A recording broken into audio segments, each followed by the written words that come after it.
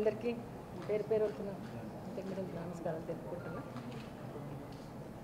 ఈ చిత్రం రాజశేఖర రెడ్డి గారి పాదయాత్ర ఆధారంగా చేసుకుని ఈ యాత్ర అనే సినిమాని నిర్మించి దీన్ని విజయవంతంగా నడిపించిన డైరెక్టర్ శ్రీ మహి గారికి విజయ్ చిల్లా గారికి దేవిరెడ్డి శశి గారికి శివ గారికి వారందరికీ కూడా నేను కృతజ్ఞతలు తెలుపుకుంటా ఉన్నా. అభినందిస్తున్నా కూడా వాళ్ళందరినీ కూడా.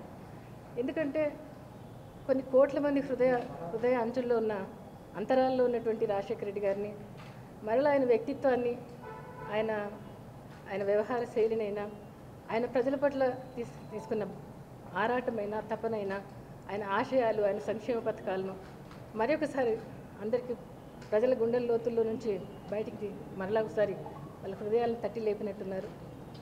అందుకని నేను వారందరికీ కూడా అభినందిస్తున్నాను కృతజ్ఞత కూడా తెలుపుకుంటా ఉన్నా.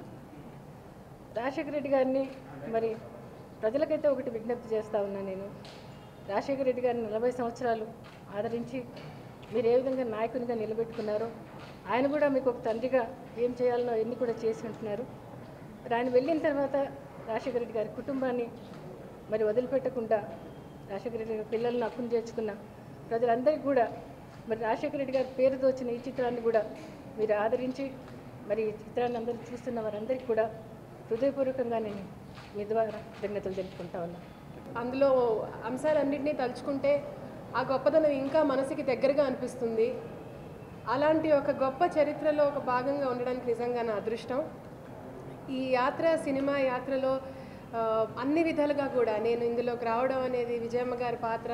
ఇప్పుడు విజయమ్మ గారితో మళ్ళీ కూర్చొని చూసే అవకాశం కూడా దక్కింది నాకు.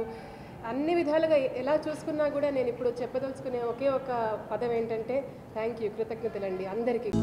హలో మిమ్మల్నే. యోయో టీవీ యాప్ డౌన్లోడ్ చేసుకున్నారా? ఇంకా లేదా? మీ యాప్ స్టోర్కి వెళ్ళి వెంటనే డౌన్లోడ్ చేసుకోండి.